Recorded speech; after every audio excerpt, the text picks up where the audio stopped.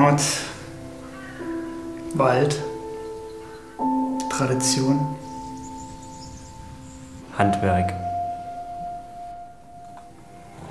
Bodenständigkeit und Hartnäckigkeit.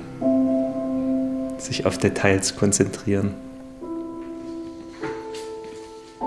Das könnte man jetzt nicht an die Küste verfrachten. Denn das Erzgebirge gehört halt schon irgendwie dazu. Die Firma ist hier entstanden. Natürlich in allererster Linie, weil unser Großvater die Idee hatte, eine Rasierpinselfirma zu gründen.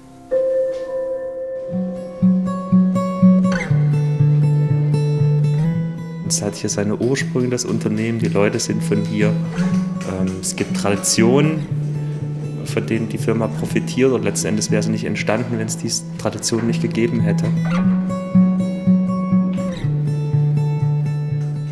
Durch diese Erfahrungswerte und durch dieses, ich sage jetzt mal, Spezialisten- oder Expertentum, was wir in der Firma haben, ist einfach dieses Wissen da und diese Ansprüche auch, denen wir genügen müssen.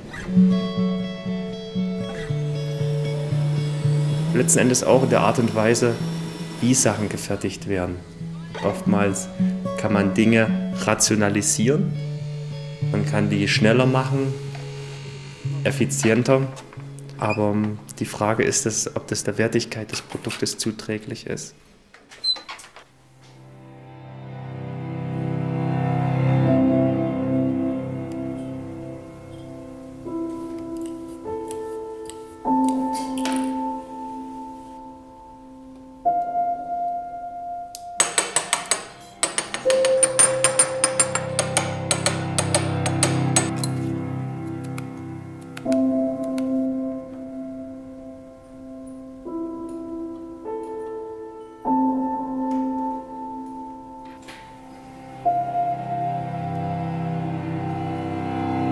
Marke Mühle ist halt für uns mehr als eine Marke, sondern ein Stück Familiengeschichte.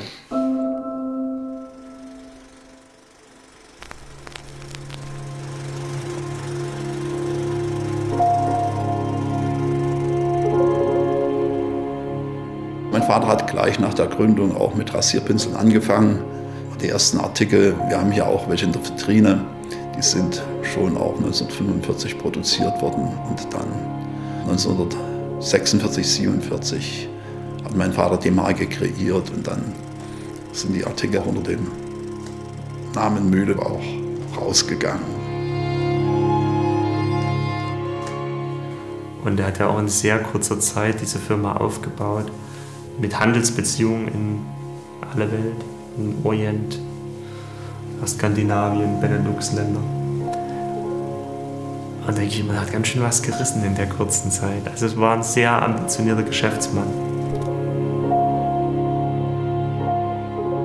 Ich finde heute auch immer wieder Leute, die sagen, Mensch, Mühle habe ich mir damals vor so vielen Jahren gekauft, habe ich immer noch und freue mich drüber. Obwohl ich dann manchmal auch sage, es wird auch Zeit, dass du wieder mal was Neues kaufst.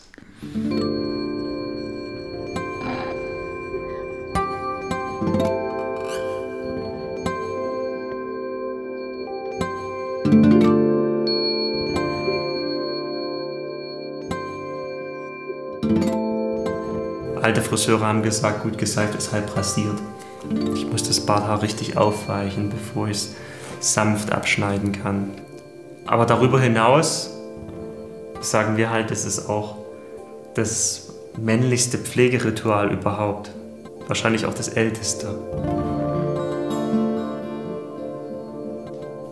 Wir nehmen uns Zeit für die Dinge, die uns Freude machen, egal ob das jetzt das Kaffee trinken ist, die Zeitung lesen. Es gibt so gewisse Rituale im Alltag eines jeden Menschen, die er gern tut und die für ihn wichtig sind und für die er sich Zeit nimmt, auch wenn er sehr wenig Zeit hat. Und dazu kann auch die Rasur gehören. Es sind nicht wenige, die ähm, sagen, dass sie sich auf die Rasur freuen. Hm. Auf dieses tägliche Ritual.